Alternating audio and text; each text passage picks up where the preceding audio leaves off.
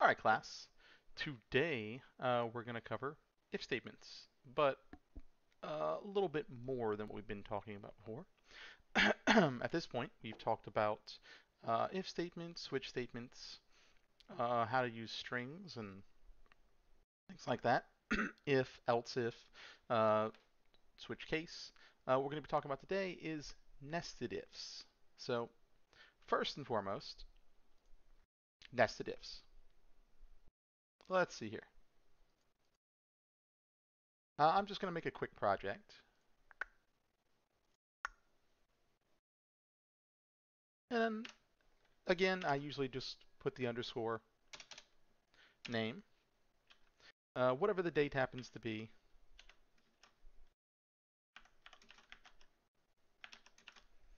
And then you just put in the name of the project. And this was just going to be nested ifs. So if we are now you've kind of got that idea down. so let's talk about uh, the difference between a regular if, nested if. And there we go. so a regular if is just basically one layer. A nested if would be an if inside another if. Whenever you're dealing with upper level programming, you almost always have different layers of the program. Uh, if you look here at this brace, notice how it's aligned, right? Public to there. If I click on this brace, the public static void main to here, this is actually nested inside of this. And when I put other code, that gets put inside of this. That's why these are all tabbed over. Uh, makes it easier to read. Uh, makes it easier to understand, you know, where in the code you are when you're going down it. So if I were just to, let's just say, make a variable here, zero, just a basic if statement, if, you know, var1 is equal to zero, right? That's a single if. Now let's say I have equals 0 as well. Let's say I happen to have another if inside of this statement. So if var2 equals equals 0. So in order for this to happen, the first if has to happen. So if this first if fails, the second if never runs. So if I put a little print statement here, and then maybe a second statement here, and I run this, we should see inside the first if, inside the second if. Uh, and the reason we're seeing that is strictly because, hey, it is inside both the ifs, right? So, pull this up a little bit uh, so we can kind of see everything. There we go. Now, if I were to change the second item here to a 1, well, it's going to check, is var1 0? It is. It's going to go inside here and print this. Is var2 0? In this case, it's not. So I won't print that second one. Now, if I change the second one to back to 0, you know, they'll both run. If I change the first, however, to 1. So this first if is going to fail. So if it fails, it's not going to run any of the code inside of it. In fact, you'll see, hurrah, nothing runs. So, so the way nested if works is, as long as the first one makes it through, it'll go in and run whatever code is in here. Uh, so in this case, this is useful if you have to, let's say, let's say I ask a, have a questionnaire. And the first question is, are you a male? Yes or no. Are you a female? You know, yes or no. Uh, and depending on the answer to that, you know, I might ask you different questions. Say, if we're, we're talking medically or something. I may direct different questions to a guy as I than I would to a female. Uh, so in that case, I'd want it to break it up kind of like this. If, you know, you're male, I would run this code here. You know, if you're female, I'd run other code. And then I'd have different questions inside of each one of these. You know, if you answered yes to this question, you know, add points. If you ask it no to this question, add points. There's a lot of uh, tests or uh, things where they would go through, ask you a bunch of questions, and then they score you based on how you answered them. Uh, we can talk about psychological tests or just kind of IQ tests or something, anything. There's a whole kinds of tests that basically go in and give you a certain number of points based on what you answer. Uh, you know, every answer may be worth a certain number of points. Uh, it, it may not be a zero, you know, or points or nothing kind of thing. So in this case, uh, it just depends on what you're actually working for. Now, almost every single program in existence will have nested ifs or compound ifs, or a mixture of both. Uh, and we'll talk about compound ifs later. Now, even with switch case, I can nest switch cases inside of switch cases, or I can even nest ifs inside of switch cases. So for example, if I were to say switch var1, come on, do it right, there we go. Now it's just to say, you know, case 0 break. I could put another switch case here for var2, switch. var2, and just put that whole switch inside of this. Alt-Shift-F, it lines it up, you know, and then I could have another case inside of that, case 0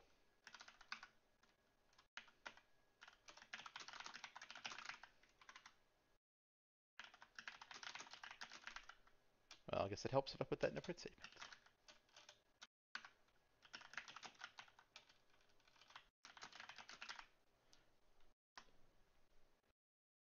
Oh, and it helps if this is a zero. Let's take a look here. Inside the first, inside the second, inside the first, inside the second.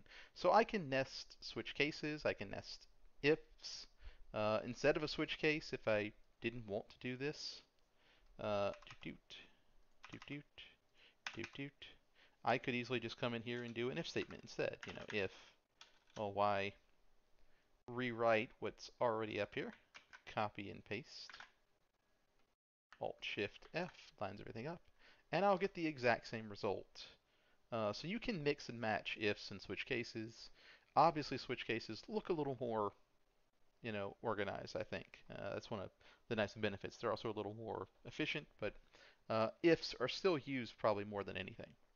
Uh, mostly because they're used in every single language. It's just something that's people commonly use. Uh, but you can mix match and do it however you want, really. Uh, sometimes I'll have a switch and then inside I'll have an if else or something like that. Uh, it just depends on what it is I'm trying to do. So this is basic nested ifs. Now we can nest further if we wanted. We could have an if, else if, else, and then nest things inside that if I want. Uh, so in this case, if var1 is 0, else if var1 is 1, and then I can have an else. then inside this, I could put another if statement here, you know. Uh, if var 2 equals 0. Let's just say both are the same.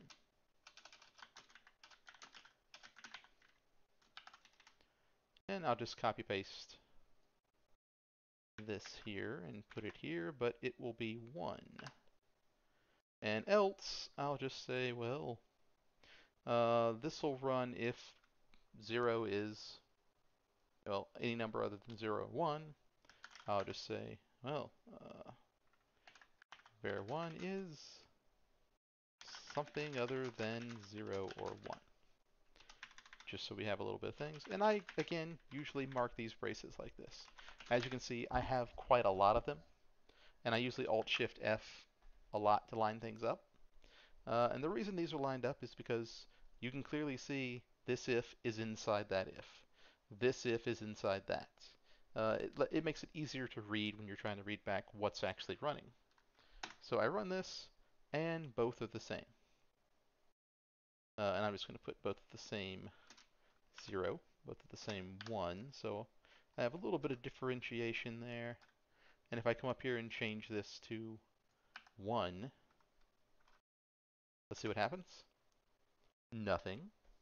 Uh, so why didn't the last thing do something? Well, variable 1 is 0. That is true. And I have an if, but nothing else, right? So this second if failed and nothing ran. Uh, so that's why I ended up getting nothing. Uh, the first one's 1, the second one's 0. Well, actually, it would go to this one. But var1, or var2 in this case, is not the same, so it printed off they're not the same. Uh, so if I wanted to add on to these, I could throw an else in there. Else, which would mean the the first one's zero, but the second one's not not the same. Uh, not zero. And I could do the same thing here. And again, I would get into the habit of doing this little uh, comment at the end of each if. Uh, and you can be more specific, end if, you know, var2 equals 0. Because these braces are very, very easy to have an extra. And then all of a sudden you've got 15 lines that are red. And if you start clicking on these and they don't end what they're supposed to end, then you know you have an extra or not enough, uh, something along the lines of that. Alt-Shift-F can also help you a little bit. If I get rid of that brace, for example, and I hit Alt-Shift-F, you see it lines everything else under here when it's not supposed to be. Uh, there we go, fix that. So uh, it's not zero. I will paste, copy paste this right here. And this would be one, it's not one.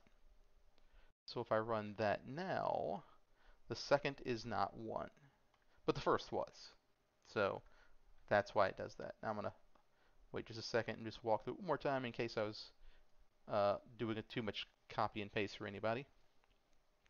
But basically, if var1 is 0, we'll go in here and we'll run this little if. And the if has two outcomes. If var2 is 0, we'll say they're the same. If there's any other number other than 0, it'll say it's just not 0. Simple, quick and easy. Now if var1 happens to be 1, we'll come in here and we will you know, check to see if the 2 is 1 as well. And then we'll say they're the same. If this second variable is any other number, 0, a million, it's going to print this message here. This prints if that first number is not 0 or 1. So if I come up here and just change this first number to 9001, then I'll end up getting var1 is something other than 0 or 1.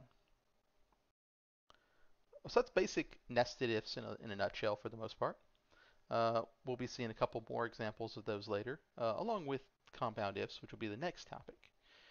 Uh, and both of those kind of go hand in hand, because uh, they kind of do the same thing. Uh, we'll talk about that later. Now, if you have any questions or issues or problems, uh, just be sure to let me know. But this is your basic compound if, or the idea behind it anyway. we have an if, and inside of that, we have another if. So there's your first simple explanation right here. Uh, we can use switch cases, of course, with that as well. And I can put a switch case inside of a switch case. You can really put just about anything inside of anything else. I could put another if or switch case inside of this one and just keep nesting inwards until infinity, well, or until I run out of memory. Uh, I could also do ifs. So it really doesn't matter which you do. This would be considered nested inside of that. And of course we could put larger ifs. If, else if, else if, else, and then inside there I could put more ifs. Else if, else if, else's inside each one of those if I wanted to. Maybe I give you one choice, and inside there I give you, you know, five sub-choices for that one choice. Let's say, for example, I said, all right, uh, do you want breakfast, lunch, or dinner? You said breakfast. Well, now I have five choices. Do you want, you know, pancakes if you chose breakfast? Do you want uh, waffles, cereal? Uh, if it's lunch, is it a sandwich? Is it a salad? Is it dinner? Steak, chicken, you know, fish, whatever. Uh, so there might be a couple of choices within that first choice. Uh, so that's typically where you would kind of see that. Other places this would be used is if I have to have multiple things be true for something to happen. So uh, if we're talking about, let's say, a game, for example, uh, I need to be a certain level and I also have to have a key to the door. Uh, I may have had to talk to somebody in particular. Uh, if any of those things happen to be, you know, true, I may have to have all of them be true. So if I talk to this person and if I have the key, you know, if this event flag is triggered, if I am this level, you know, I may have all these ifs nested in there to check one at a time to see if they're true. Uh, and if they are, boom, the door opens and you know you move on to the next part of the game. If we're talking a real world application, then it might be something uh, more along the lines of have you checked all these boxes? If you check box number one, you know, okay, we move on to the next one. If you check the, the next box, the next box. Uh, if you said yes to this question, well, I need to check, you know, did you answer this box? Uh, something along the lines of that. Hopefully that clears up a little bit. Uh, like I said, we're going to see more of this because pretty much once you get to nested compound ifs, uh, you see them pretty much almost every single project after that.